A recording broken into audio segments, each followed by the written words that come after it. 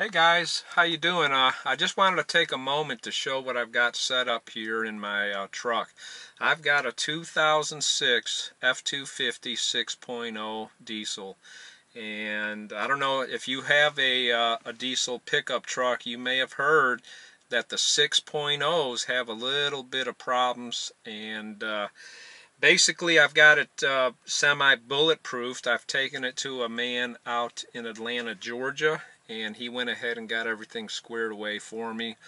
Uh, but this here is a gauge that I've got and it just plugs into the uh, port underneath the uh, steering wheel and it basically monitors my uh, my motor and the one that I'm really concerned about is right here this gauge right here that's my EGTs which stands for engine gas temperature and with that, you don't want to run or push a diesel up a hill or you don't want that to get above 1200 degrees.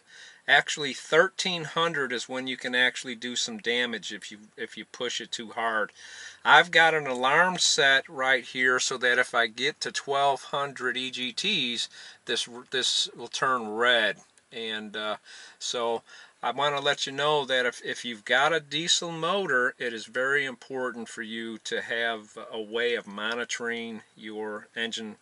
And with a lot of vehicles nowadays, they're all pretty much built in where you can keep an eye on everything. But for those of you that have an older type uh, diesel motor, I would suggest looking online and seeing uh, what you can come up with as far as some type of way of monitoring what's going on with your engine. If you notice on the top right, I've got the engine oil temperature, I've got the coolant temperature and the trans temperature, and I also monitor the uh, FICM. And with that guy, you don't want it to get below 4750.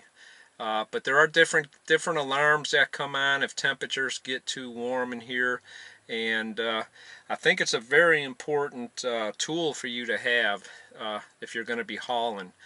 Now when we were in Colorado there was only a couple times that uh, I got it to 1200 EGTs. When I seen that I just backed it off. So it doesn't matter how fast I'm going with the speed and uh, I think I might have been only going maybe 40 45 miles an hour uh, going up a pretty steep grade but you want to keep an eye on your EGTs guys it's important it's the silent killer of a diesel motor. So what I've got is the Livewire TS. Uh, it's not it's not cheap. I think I paid around $500 for this thing. And I've also got it tuned up uh, where it's uh, tuned and uh, it's given me pretty good fuel economy. Uh, when I took it from Alabama to Indiana, I got 23 miles to the gallon. Uh, that's pretty good. of course, I was not towing. Now, when I'm towing, I get somewhere in the neighborhood 15, 16 miles, depending on terrain. It, it varies uh, based on where you're at. So, but anyway, I hope that helps someone out there. Uh, if you don't have a way of monitoring your uh, your motor, I, I highly recommend looking into some type of monitoring system so you can keep an eye on what's going on with your motor. I hope everyone has a great day. Talk to you later.